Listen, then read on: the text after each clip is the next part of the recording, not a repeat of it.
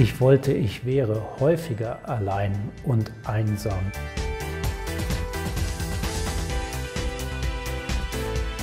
Alleine Reisen ist für viele Frauen echt noch ein Problem, weil es gibt gar nicht so viele positive Bilder, wo Frauen alleine sind und für sich einfach wertvoll und selbstbewusst. Ich bin gerne allein. Mir fehlen nur die Scheckkarten vom Zweiten.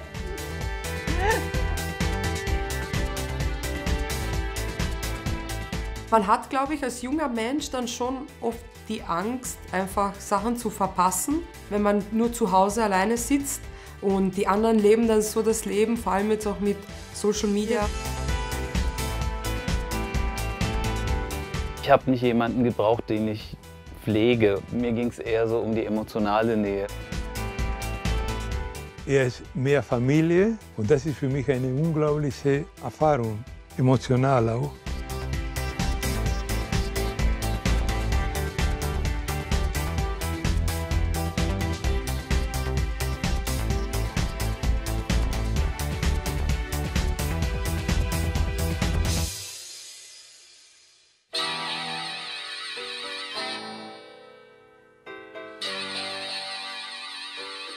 Alleinsein, das hat momentan keinen guten Ruf.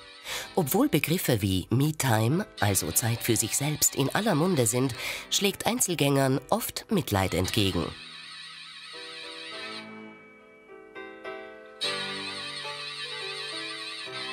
Wir treffen Jakob Simank in Berlin. Er ist Wissenschaftsjournalist bei der Wochenzeitung Die Zeit und forscht zum Thema Einsamkeit. Für ihn ist diese eine Emotion und weder Krankheit noch Epidemie. Mir ist wichtig in der Definition zu sagen, dass es ein Gefühl ist, nicht etwa eine Form von Störung, sondern ein Gefühl mit einer großen Ambivalenz. Ich beschreibe es immer als so ein Gefühl des auf sich selbst zurückgeworfenseins. Und das ist deshalb ambivalent, weil das als schmerzhaft wahrgenommen werden kann, als etwas, wo eigentlich ein Mangel da ist. Es kann aber gleichzeitig auch als etwas wahrgenommen werden, was eine große Freiheit ist, weil man sich löst von Ansprüchen, die an einen gestellt werden, von Normen der Gesellschaft etc. Einsamkeit gilt als Volkskrankheit, als Seuche unserer Zeit. Studien besagen, sie sei so schädlich wie Rauchen und erhöhe das Risiko für Herzinfarkt, Bluthochdruck, Schlaganfall und Depressionen.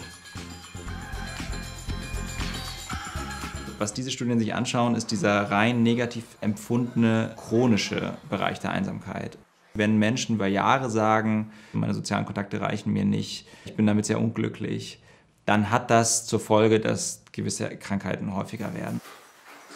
Es gibt Leute, die das überhaupt sich nicht wünschen, viele soziale Kontakte zu haben. Es gibt viele Umstände in unserer Welt, die dafür sorgen können, dass mein soziales Netz gesprengt wird. Es gibt Menschen, die haben vielleicht neben ihrer Einsamkeit auch eine soziale Angststörung, trauen sich eigentlich gar nicht raus. Das müsste dann vielleicht behandelt werden. Das ist einfach, glaube ich, wichtig, sich das klarzumachen, dass das tausend Gründe haben kann. Und wenn man in diesem Zustand ist, in dem das soziale Netz schwach ist oder in dem man sich chronisch einsam fühlt, und da gerne raus möchte, dass man das dann halt auch am besten schafft, wenn man sich erstmal eingesteht und dann irgendwie mit Menschen redet und ins Gespräch kommt und so weiter. Und letztlich setzen ja auch da die vielen Initiativen an, die es gibt. Wichtig ist, dass das nicht gilt für Menschen, die gelegentlich einsam sind, weil die aller, allermeisten Menschen sind gelegentlich einsam. Ich würde sogar sagen, es ist was total Menschliches und gehört zur Kondition Humana, einsam zu sein. Where are you?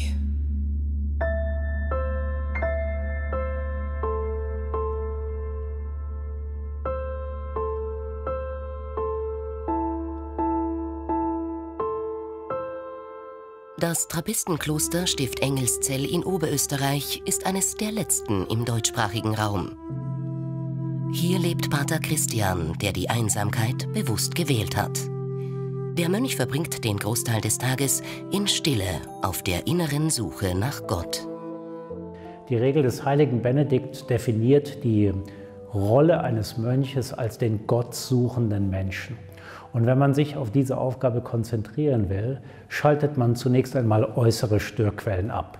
Wenn Sie sich auf eine geistige Aufgabe konzentrieren wollen, schauen Sie nicht Fernsehen, hören Sie nicht Radio, sondern Sie schalten das alles ab, um äußere Stille herzustellen. Dann werden Sie sehen, im Inneren von uns gibt es ganz erhebliche Lärmquellen und das wird ausgeschaltet durch unsere tägliche Übung der Stille, der Lectio Divina, der Meditation, um innerlich einen Ruhepol zu bilden. Und dann beginnt eigentlich erst dieser interessante Weg, an dem das Schweigen und das Alleinsein ihren Zweck erfüllen können.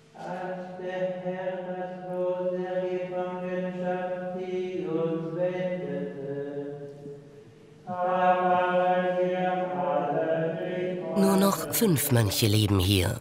Einst waren es über 70. Und es gibt noch eine Brauerei. Somit ist immer viel zu tun im selbstgewählten Rückzug. Ich wollte, ich wäre häufiger allein und einsam, denn man darf nicht mit einer idealisierten Vorstellung an unseren Lebensstil herangehen. Ich hatte den Traum, den Traum, als ich hierher kam, es wird alles viel ruhiger, es wird alles viel gelassener, ich kann mich noch mehr um Gott kümmern. Das war dieses Traumbild. Ich habe noch nie so oft Stress erlebt wie in diesen Tagen, weil wir ein sehr großes Kloster äh, bewohnen. Wir haben unsere gemeinsamen Mahlzeiten, unser Miteinander. Wir sind keine Eremiten von unserer Lebensform. Und dadurch bedingt gibt es auch bei uns Situationen, in denen wir uns wünschen, mal ein, zwei Stunden uns zurückziehen zu können von diesem äh, Miteinander. Der Lockdown war für die Mönche kein großes Thema. Den habe ich gar nicht mitbekommen. Den haben wir verschlafen im Kloster, weil wir sind im Dauerlockdown. Die Menschen haben mir sehr leid getan, die gezwungenermaßen im Lockdown so auf so viel verzichten mussten. Äh, wir haben auf nichts in der Zeit verzichtet, weil wir gehen ja nicht aus oder in, in Theater oder in Restaurants oder wo auch immer. Wir haben natürlich unsere Einschränkungen im Gottesdienst erlebt, dass wir Maske tragen mussten, dass wir auch Social Distancing machen mussten. Aber da wir Fünfe sind, fiel uns das nicht schwer in der großen Kirche. Das hat eigentlich äh, uns nicht sehr, sehr betroffen, diese Pandemie. Pater Christian hat einiges erlebt, bevor er Mönch wurde.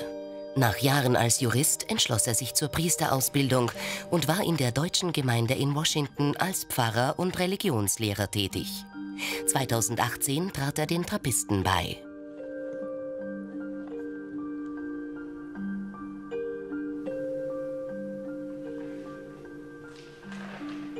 Meine Eltern hatten klare Vorstellungen, was mein gutes Leben äh, sein sollte. Mein Vater hat mir angeboten, er würde mir helfen beim Hauskauf in Dresden. Du bist Jurist, du wirst also ganz schnell hochschießen. Ich hatte also schon klare äh, Vorgaben, wie auch meine zukünftige Partnerin aussehen sollte. Und in der Zeit habe ich dann bei mir gedacht, ja, ich funktioniere ganz so, wie meine Eltern das wollen. Und habe dann aber auch irgendwann gespürt, dass mein Leben gelebt wird. Und ich habe dreimal einen Antrag gemacht und äh, zweimal wurde Ja gesagt. Es steht 2 zu 1. Aber ich habe dann auch gespürt, das ist nicht mein Weg.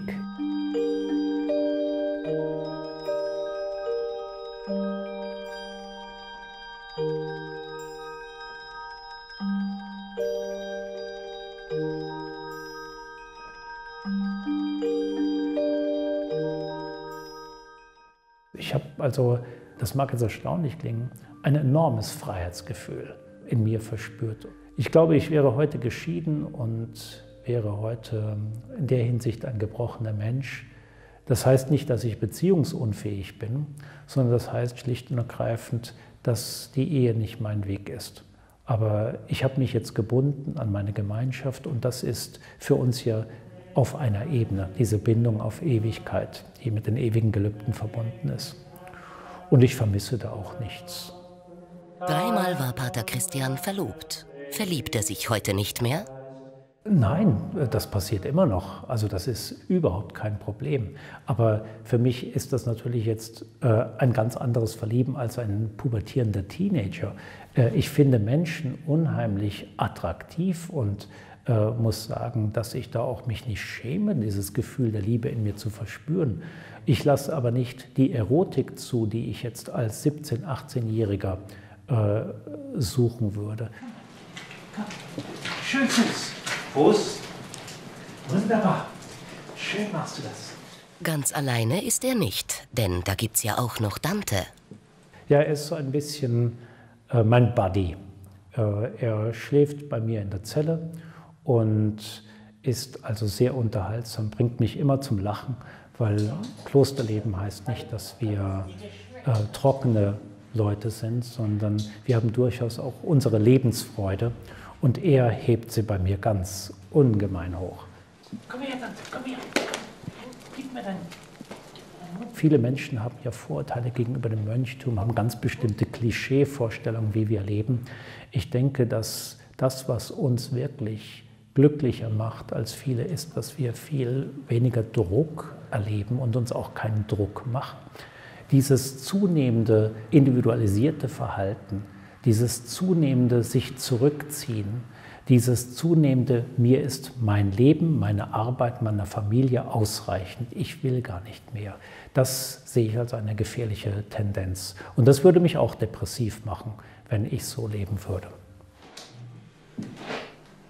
Ich glaube, wir sehen kulturgeschichtlich, dass die Einsamkeit negativer wird, so im 19. und 20. Jahrhundert wohingegen kulturgeschichtlich früher der Begriff der Einsamkeit eher auch was Religiöses hat, was, was Sinnsuchendes.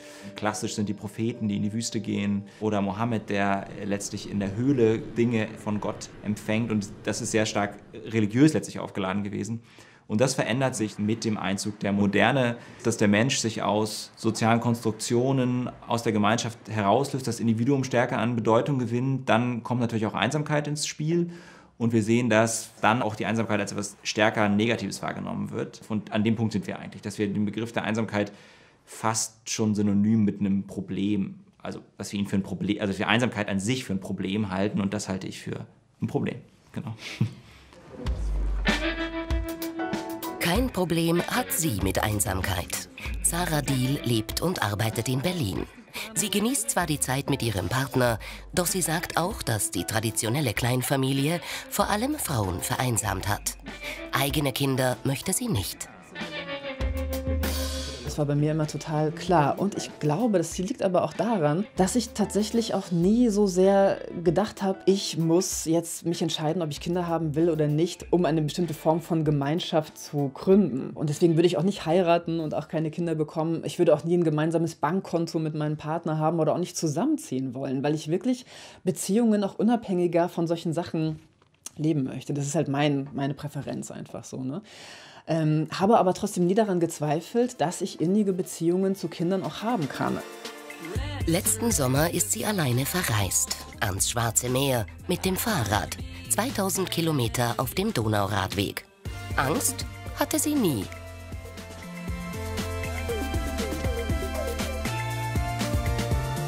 Alleine Reisen ist für viele Frauen echt noch ein Problem, weil ihnen immer suggeriert wird, wenn was passiert, bist du auch selbst dran schuld. Ne? Es ist alles irgendwie die feindselige Umgebung.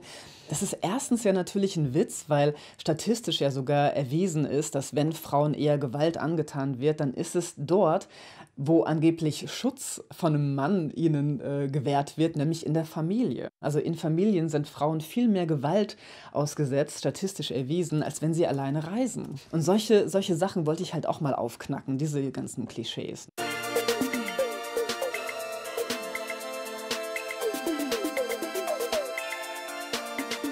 Ein anderer Punkt, den ich auch sehr schön fand, dabei zu sehen, ist, ähm, also ich sehe da interessanterweise auch Parallelen von Trampen und Pilgern.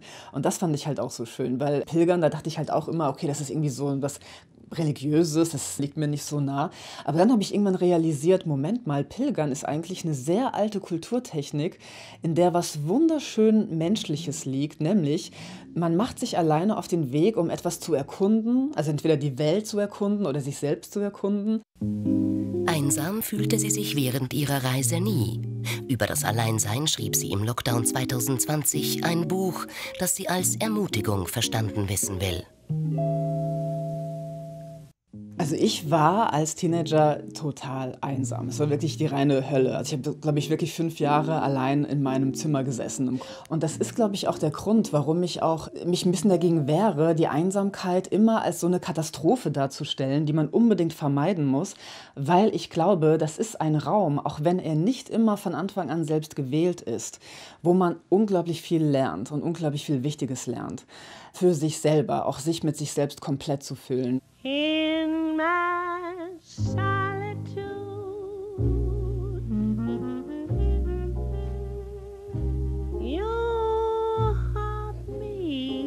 Selbst in der Partnerschaft möchte ich nicht alles von meinem Partner abhängig machen, wie es mir geht, sondern ich muss einfach auch klar dafür einstehen, was mir gut tut. Ich finde also Kommunikation in der Partnerschaft und wirklich ehrliche Kommunikation, wo man sich nicht schämt, seine Bedürfnisse zu äußern, wahnsinnig wichtig. Und es ist für mich ein totales Plus von Beziehungen, wie man die gut machen kann. Gleichzeitig aber eben auch, dass man es auch schafft, bei sich zu bleiben und alleine zu sein und nicht so sehr so eine Identitätssuche in der Partnerschaft hat. Dass man halt wirklich weiß, also ich bin ich, ich bin mir genug, ich bin komplett mit mir und nicht einen Wert oder eine Identität in der Partnerschaft sucht. Alleinsein ist für Sarah Deal keine Opposition zur Gemeinschaft, sondern ein Ort, wo man lernt, wie man gut zu sich und letztlich auch gut zu anderen sein kann. Wenn man größere Gemeinschaften hat, die sich gegenseitig unterstützen, die solidarisch füreinander da sind, dann hat man auch mehr Räume zum Alleine sein. Dann hat man auch mehr Räume, ähm, wo man eben, also Zeit und Raum, wo man Freiraum für sich selber hat. Also ich muss halt auch immer so ein bisschen lachen, wenn man sagt, ja, Familie ist irgendwie so der Garant gegen Einsamkeit, weil tatsächlich war das für Frauen ähm, jahrhundertelang der Ort, wo sie isoliert waren, wo sie vereinsamt sind weil sie nicht in die Öffentlichkeit raus durften oder weil sie eben so sehr sich um Kinder kümmern mussten und um häusliche Sachen kümmern mussten, dass sie halt kaum Raum hatten, irgendwie sich mit dem Außen zu verbinden. So, ne? Also Familie ist ein Hort der Vereinsamung für Frauen, für Mütter vor allem. Hm, das ich muss da ehrlich gesagt immer so ein bisschen schmunzeln, wenn Leute sagen, ja, aber wenn du keine Kinder bekommst, bist du doch alleine im Alter. Ich würde eher sagen, dass Leute, die kinderlos gelebt haben oder leben, die wissen, wie man sich Freundeskreise schafft. Das haben die ja nie verlernt. Also ich weiß, wie ich gute Freundeskreise schaffe und ich wüsste nicht, warum mir das im Alter nicht gelingen sollte. Und deswegen habe ich eigentlich ja überhaupt keine Angst davor, im Alter alleine zu sein. Viele assoziieren Einsamkeit vor allem mit dem Alter. Das macht nicht nur Angst, sondern fördert negative, stereotype Altersbilder. Die Corona-Pandemie hat gezeigt, dass Seniorinnen und Senioren resilienter auf die Lockdowns reagierten und mit dem Mythos aufgeräumt, dass Einsamkeit nur ein Problem für diese Generation ist. Das Gegenteil ist der Fall.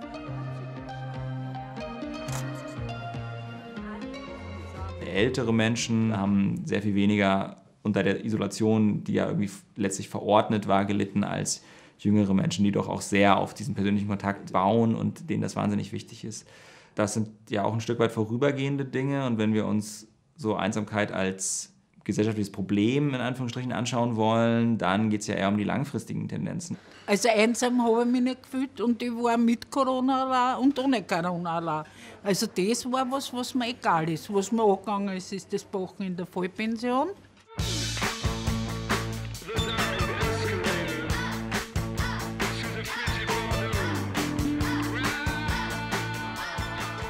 Ich kannte die Vollpension vorher nicht und auf die Zeitungsannonce habe ich mich beworben, weil ich gern backe. Und bevor ich noch das in Angriff genommen habe, haben mich mindestens zehn Leute aus meinem Bekanntenkreis angerufen und gesagt, sie haben das Richtige für mich, ich soll mich dort bewerben, weil ich backe so gern und meine Familie hat sich sehr verkleinert.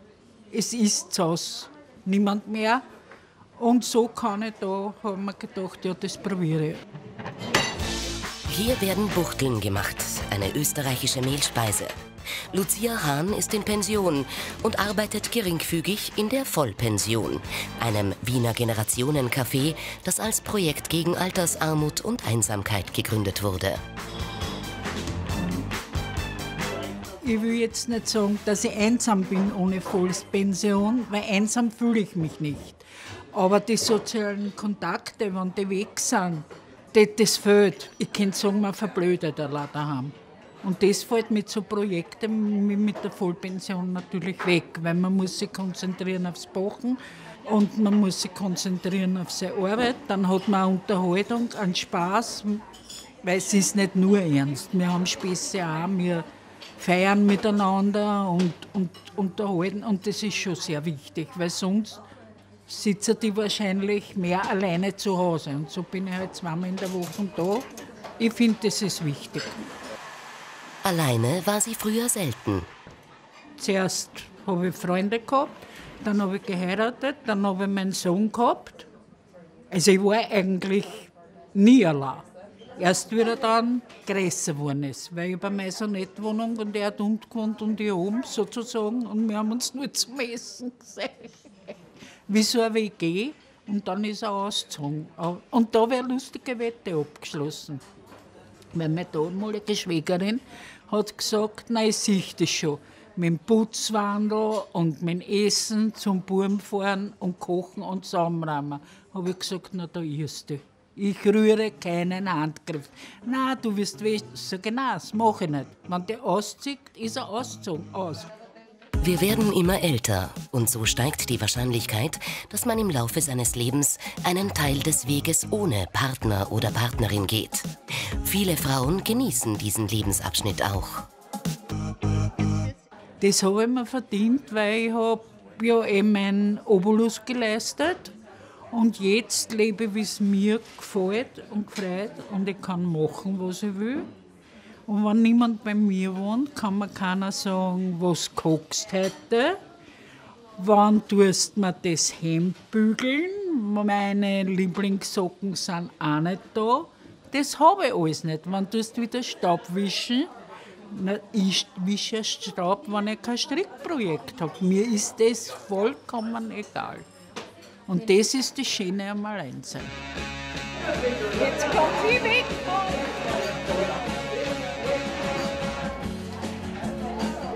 Seit Generationen haben Solo-Männer Rollenvorbilder wie den fidelen Junggesellen oder Playboy. Bei Frauen sieht das schon anders aus. Stichwort alte Jungfer oder Crazy Cat Lady. Für Männer gibt es sehr viel mehr Vorbilder, alleine zusammen, das halt zu idealisieren, ne, zu, aufzuwerten ähm, sich nicht so defizitär zu, zu fühlen. Ich finde, das hat aber auch eine, eine, eine Kehrtwende. Ne? Also das hat auch eine, eine, negative Seite, weil diese Ideale, die der Männern vorgelebt werden, bringen Männer ja auch dazu, dass sie weniger auch einfach sagen können, hey, ich bin alleine, ich brauche Freunde, nach Hilfe suchen zum Beispiel. Also das sind alles Probleme, die sind real. Ne? Aber die werden weniger behandelt oder weniger besprochen in der Gesellschaft als dieses Schreckgespenst dieser einsamen Frau. Eine Frau macht sich alles selber die, die kocht, die wascht. Die, ein Mann ist da vielleicht von der Vorgängerin verwöhnt worden, sagen wir es einmal so, dann fühlt sich der einsamer. Einsamer fühlen sich ja die, die was zum Beispiel lang in einer intakten Ehe oder Lebensgemeinschaft gelebt haben, wo dann ein Partner wegstirbt oder Scheidung oder irgendwas. Die fühlen sich einsamer. In den letzten Jahren zeigte sich in Industrienationen ein sprunghafter Anstieg des Scheidungsalters. Bekannt ist das Phänomen als Grey Divorce. Während Männer nach Trennungen vermehrt unter Einsamkeit leiden, blühen viele Frauen auf und gehen laut Statistik seltener eine neue Partnerschaft ein. Also erziehen darf niemand mehr bei mir, nur mehr meine Enkelkinder, aber kein Mann. Nur ambulant und nicht stationär. Das ist ausgeschlossen, weil ich brauche meinen Platz für mich allein und ich will allein schlafen, ohne dass ich Geräusche daneben habe. Ich bin gerne allein. Mir fehlen nur die Scheckkarten vom Zweiten. Also finanziell ist zu zweit sicher besser, weil die Wohnung kostet dasselbe, ob einer drin wohnt oder zwei.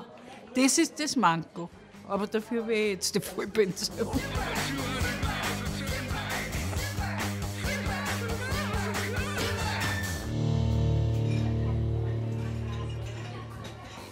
Denn alleine leben ist auch eine Geldfrage. In Cafés muss man konsumieren, um in Gesellschaft zu sein. Öffentliche, konsumfreie Orte und Initiativen, wo sich Menschen treffen können, ohne Geld auszugeben, werden von der Politik systematisch abgeschafft. Wie in Großbritannien. Unter großem medialen Echo wurde dort 2018 von Theresa May das Ministerium für Einsamkeit initiiert. Für viele aber ist es Symbolpolitik, denn damit bekämpft die Regierung ein Problem, das sie erst selbst durch rigorose Sparmaßnahmen bei Sozialorganisationen und Nachbarschaftsinitiativen geschaffen hat. Viel hat sich in den letzten Jahren nicht getan. Es ist kein Ministerium, sondern es ist einfach eine Zusatzaufgabe, die einer Staatssekretärin für Zivilgesellschaft und Sport äh, gegeben wurde. Und man muss natürlich, glaube ich, fragen, wie viel das gebracht hat, weil wir sehen zum Beispiel, dass binnen dieser vier Jahre, über die wir jetzt sprechen, schon die dritte Person diesen Posten besetzt. Also personell ist da nicht besonders viel Kontinuität, da ist auch nicht besonders viel Etat da. Wir sehen aber, dass natürlich viele der strukturellen Ursachen, die sozialen Netze auch kaputt gemacht haben, also das Sparen im Bereich von Sozialleistungen, für öffentlichen Nahverkehr, der ja Menschen irgendwie auch ganz physisch verbindet, das Sparen an Kriseninterventionen und so weiter, ganz sicher einen Einfluss gehabt haben wird auf soziale Isolation. Die Frage ist, kann ich jetzt mit so einem kleinen Programm das letztlich wieder gut machen oder ist es im Grunde genommen auch ein bisschen Kaschieren einer konservativen Politik, die halt schon den Staat nicht in der Rolle sieht, das soziale Netz der Menschen zu stärken? Initiativen wie etwa das österreichische Plauderbankerl oder die Telefonhotline Plaudernetz, die Vereinsamung bekämpfen können. Denn regelmäßige soziale Kontakte wirken präventiv gegen soziale Isolation und somit gegen eine der Hauptursachen für Einsamkeit.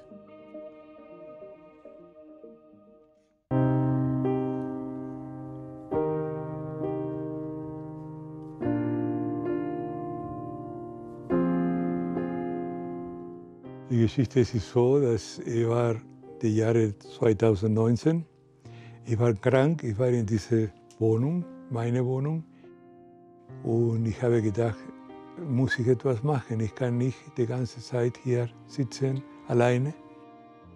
Und die ersten Nachrichten mit Covid sind gekommen aus China. Die haben gesagt, bitte passen Sie auf, nicht draußen gehen und so weiter. Und habe ich angefangen zu anrufen Vereine, das helfen ältere Menschen alleine. War eine Frau da und sagte, ja, wir gucken, wir müssen jemanden finden für sie. Ist nicht so einfach im Moment. Plötzlich habe ich einen Anruf bekommen und war Atesh.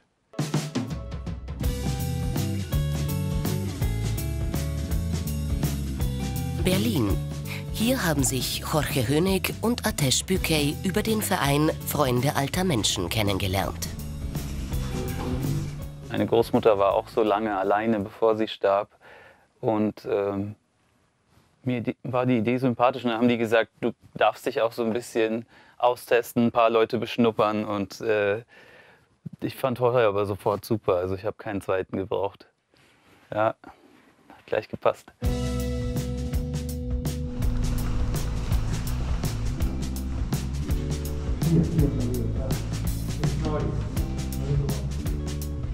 Ich habe es auf jeden Fall immer Partnerschaft genannt, weil hm, ich habe nicht jemanden gebraucht, den ich pflege oder so. Ich, mir ging es eher so um die emotionale Nähe und auch darum, dass jemand nicht zu viel Selbstmitleid hat, ein bisschen nach vorne schauen kann, also auch was Konstruktives hat.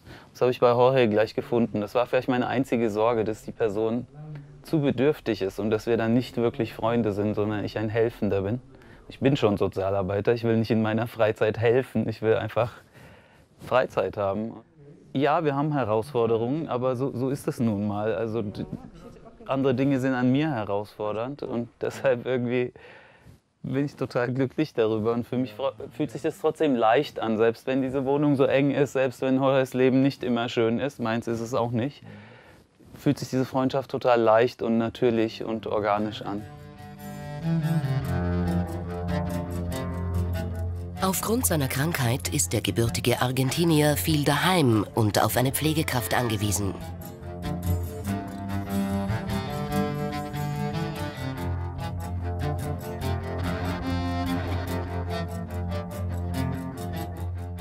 Gibt es auch eine Differenz zwischen einer Person mit 40 Jahren alt, mit seiner Beschäftigung, mit seiner Arbeit und so weiter, und ein Rentner, der zu Hause ist fast die ganze Zeit, auch wegen Krankheit.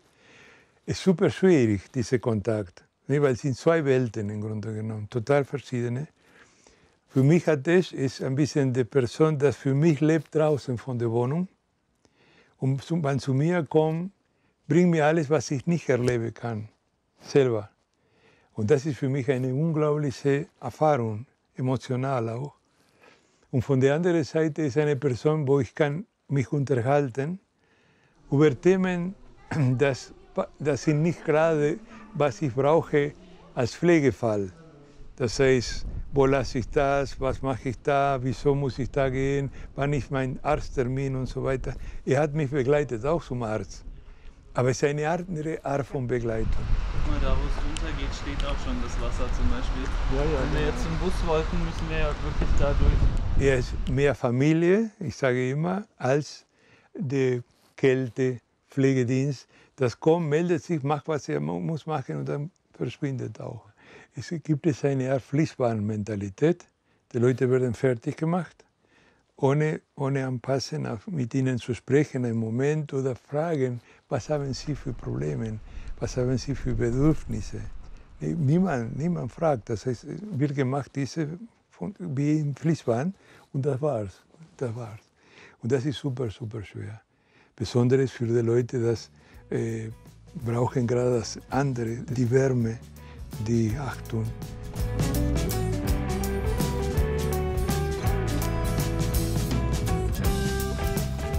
Und diese emotionale Kälte, von der Jorge spricht, oder die fehlende Wärme, ist ein Resultat dessen, dass die Menschen versuchen, sich zu schützen, die, die in diesem Bereich arbeiten. Sie können einfach nicht Ja. ihm nah sein. Als er Covid hatte und ich ihm Obst gebracht habe, stand hier diese Person in voller Montur. Wir sind alle geimpft, die meisten genesen. Sie wollte mir das Obst einfach abnehmen. Dann habe ich gesagt, ich würde ihn total gern einfach nur mal sehen. Und dann stand ich in der Tür, er saß hier in Unterhose und irgendwie hat mich dieses Bild total berührt und dann musste ich wieder gehen. Mm, Ja, es ging mir sehr nah. Kontakt halten, nicht vereinsamen. Dabei helfen Jorge Hönig auch Internet und soziale Medien. Gott sei Dank habe ich die Fantasie und die, die Möglichkeit zu fliehen, irgendwo in andere Welten, in meine Imagination, weil könnte es mich retten von der Einsamkeit. Das war ein, ein wichtiger Komponent. Wenn ich nicht Ates gehabt habe, so ein ganzes Jahr war ich hier alleine und hatte Ates nicht. Und habe ich gedacht, ja, wie kann ich da rauskommen? Wie kann ich? Und das einzige Chance war die Fantasie. Die Fantasie, das für mich bedeutet auch, die einzige Möglichkeit als Kontakt war die Tablet, war dieses Material, das ich könnte durch Internet gucken, alte Filme. Zum Thema Einsamkeit liegen derzeit vor allem Forschungsarbeiten für ältere Menschen vor. Auch wenn sich jeder Mensch von Zeit zu Zeit einsam fühlen kann, scheinen bestimmte Bevölkerungsgruppen häufiger betroffen zu sein. Ich habe mich total oft im Leben schon einsam gefühlt. Als Jugendlicher habe ich mich in meiner queeren Identität sehr oft einsam gefühlt. Ich habe mich oft mit meiner komplexen Identität, ich hab, meine Eltern sind unterschiedlicher Herkunft, meine Großeltern hatten unterschiedliche Konfessionen. Niemand hat so richtig verstanden, wie ich aufgewachsen bin.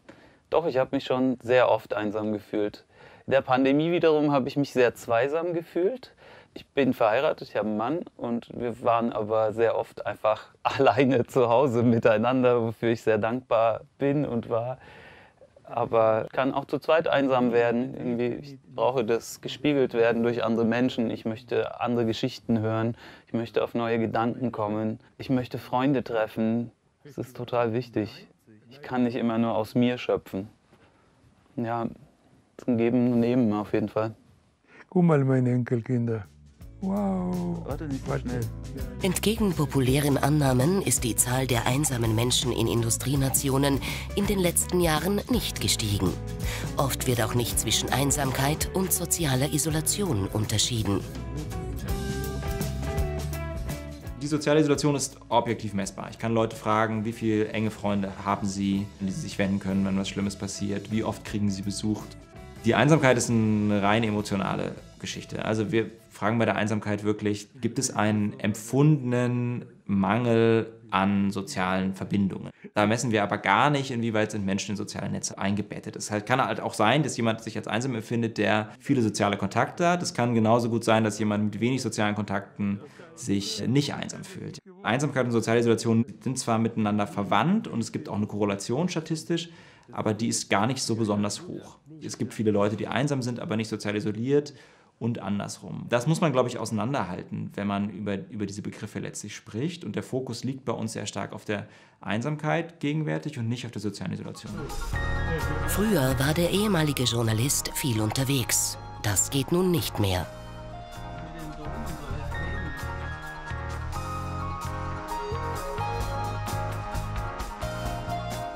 desto man älter ist, ist immer größer die Angst, äh, verloren zu gehen.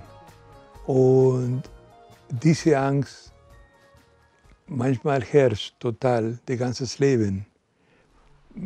Und besonders, weil man kann nicht mehr alleine die Sachen schaffen, sondern man braucht immer Hilfe.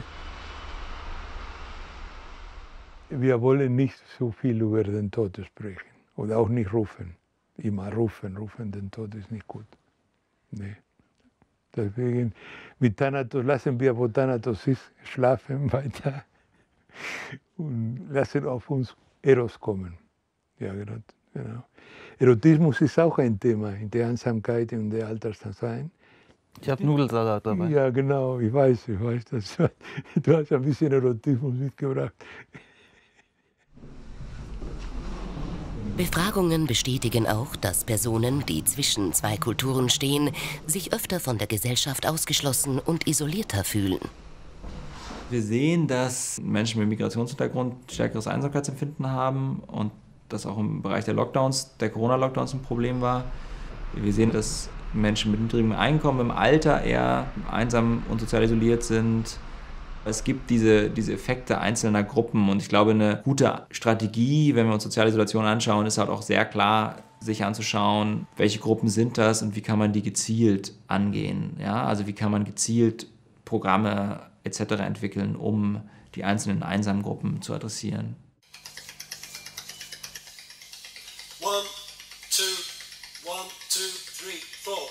Ich merke so richtig, wo ich mir wirklich schwer tue, wo ich nicht weiß, okay, wer bin ich jetzt, wo soll ich hin, ist, wenn es ums Thema Dating geht. Ich bin Feministin, ich bin für Gleichberechtigung, Chancengleichheit, Männer gleich äh, wie Frauen.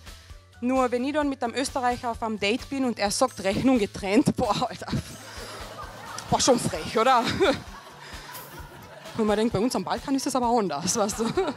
Ich habe eine Lösung für dieses Problem gefunden du datest einfach zwei Typen.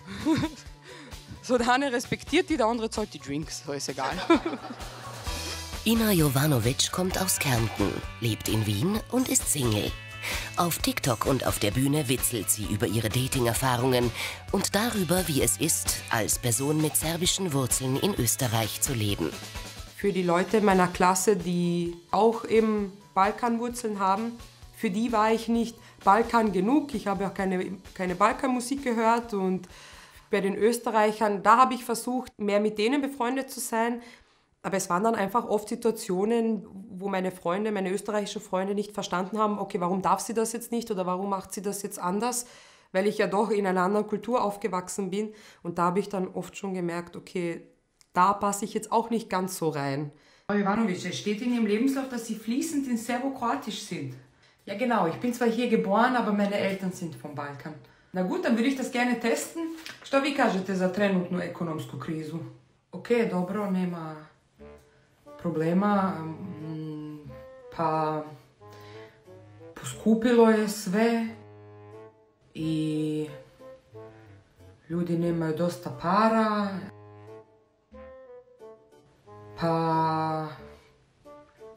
Slabo das habe ich heute noch immer, jetzt mit fast 30, noch immer so, wo gehöre ich hin? Ich passe irgendwie nirgends richtig so hinein. Ich sage es euch ganz ehrlich, als Kind äh, und Jugendliche, ich habe es einfach so gehasst, Jugo zu sein. Ich habe immer versucht, den Jugo in mir zu verstecken, zu unterdrücken, weil ich einfach gemerkt habe, die Österreicher, die mögen uns nicht. Es war einfach so schlimm für mich. Ich habe ich, ich hab immer versucht, die brave, liebe Österreicherin zu sein. Mir war es immer voll peinlich, dass, wenn meine Mama mit mir Serbokroatisch in der Öffentlichkeit geredet hat, ich bin dann immer voll nervös geworden. Ich so, Mama, bitte red Deutsch. Die Österreicher hören die. Als ob es irgendeinen Unterschied gemacht hat, wenn sie mit ihrem Jugodeutsch irgendwas gesagt hätte, weißt du.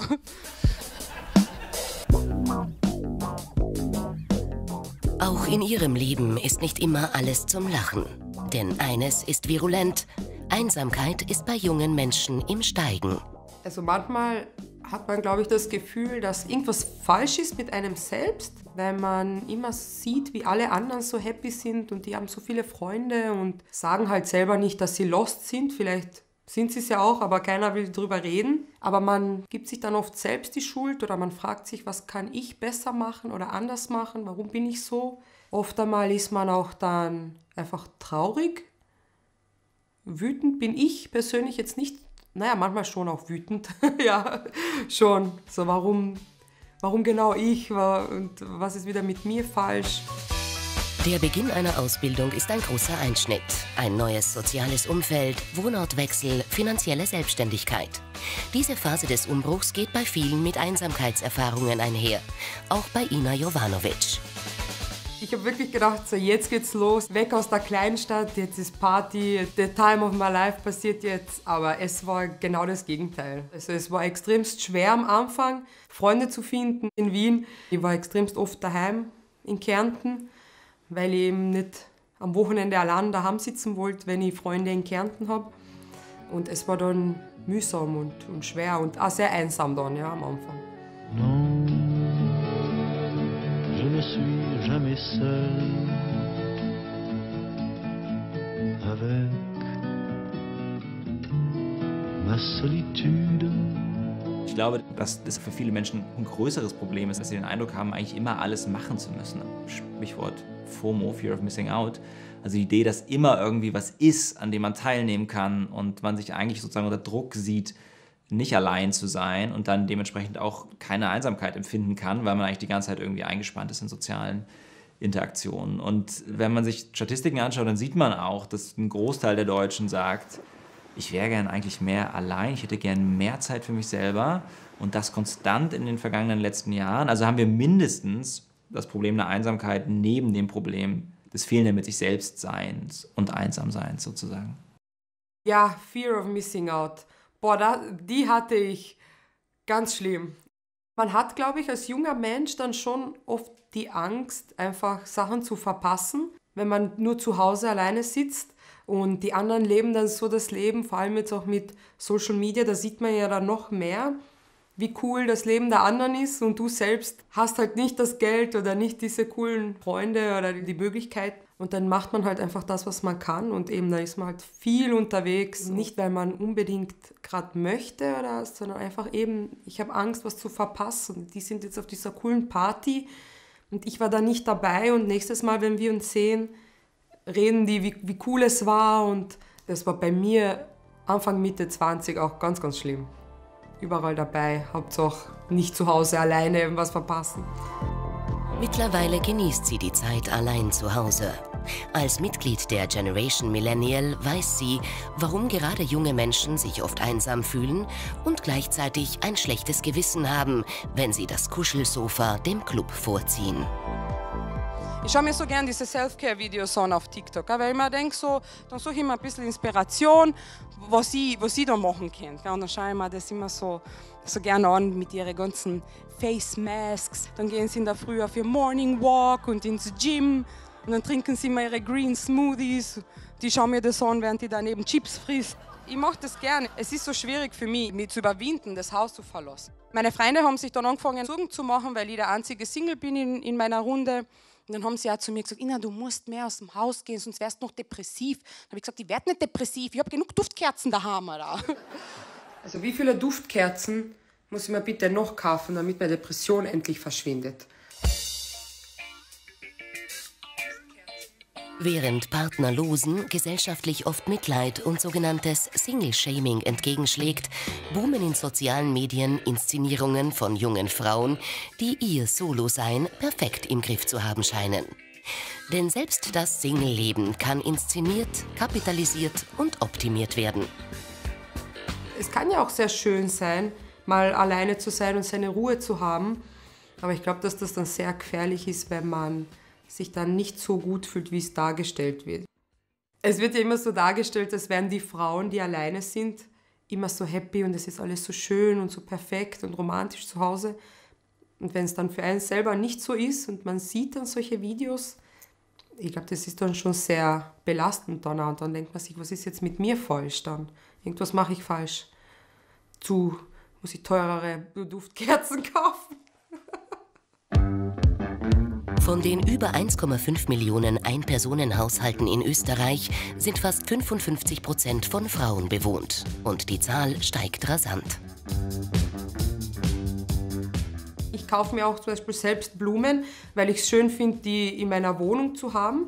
Also rein dekomäßig. Sowas finde ich dann äh, in gewisser Hinsicht auch gut, dass man nicht wartet auf jemanden, der mir dann Geschenke macht oder ich hätte gerne einen Freund, der mir das kauft oder Blumen schenkt, sondern du kaufst dir das einfach selbst dann, wenn du es haben willst. Also sowas finde ich auch schön. Und auch das mit dem Essen gehen. Wenn du jetzt gerade niemanden hast, der mit der Zeit hat oder der mit dir gehen möchte, dann gehst halt einfach allein. Das habe ich am Anfang oft gemacht, wo ich frisch nach Wien gezogen bin. Ich hatte da so viele Restaurants, ich habe so viele gefunden, und niemanden, der mit mir hingehen wollte. Und ich wollte einfach nicht warten, bis ich da Freunde finde, die mich quasi da retten aus meiner Einsamkeit.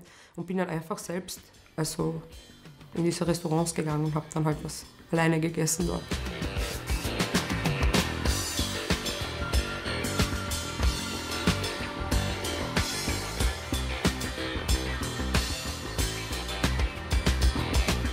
Das heißt, falls ihr Dating-Tipps für mich habt, ihr findet mich an der Bar mit einem Bier.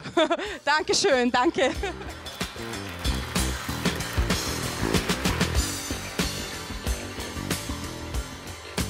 Ich glaube trotzdem, dass wir als Gesellschaft im Grunde genommen einen besseren Umgang mit Einsamkeit anstreben sollten, einsamkeitsfähiger werden sollten. Und das macht man zum Beispiel, indem man die Einsamkeit mal ein Stück weit erträgt und nicht immer jede Lücke füllt. Mit der Test habe ich das große Glück, dass wir uns verstehen von Anfang an. Wir reicht uns, uns zu gucken und wir haben total klar, was wir wollen oder was wir denken. Und das ist super, super wichtig. Ist super, super wichtig. Für mich ist unsere Freundschaft auch ein bisschen wie ein Blick in die Zukunft. Dass ich mir ausmale, so könnte ich in der Zukunft auch leben und was, was möchte ich tun, um damit dann umgehen zu können. Also mich empowert das auch dieses Gefühl. Aber wenn man Einsamkeit wirklich als einen Handlungsspielraum sieht, wo unglaublich produktive Sachen passieren, weil man sich eben abgrenzt von Erwartungshaltungen vom Außen, ne, die negativ einfach sind, ne, von einzelnen Menschen oder generell von der, dieser ganzen Konkurrenz, Wettbewerbs- und Leistungsgesellschaft, um eben eigenen Bedürfnissen, die als wertvoll zu betrachten und wirklich denen nachzugehen, denen Raum zu geben, dass man sich da wirklich mal so einer ungestörten Selbstwahrnehmung hingeben kann.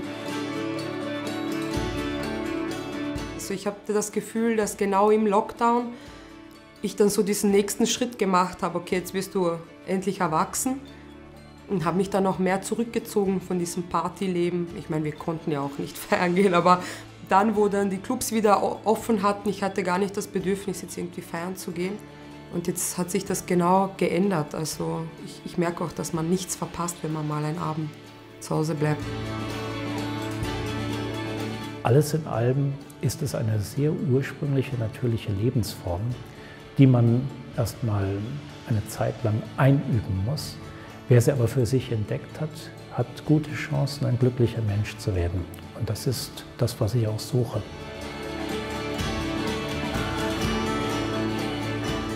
Alleinstehend bin ich 40 Jahre, Alleinerzieher. Das war schon allein geldmäßig nicht leicht.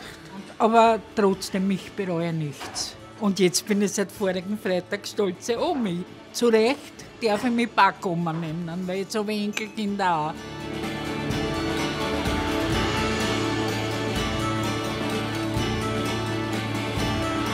Und jetzt im Dreisatz über die Liebe im 21. Jahrhundert.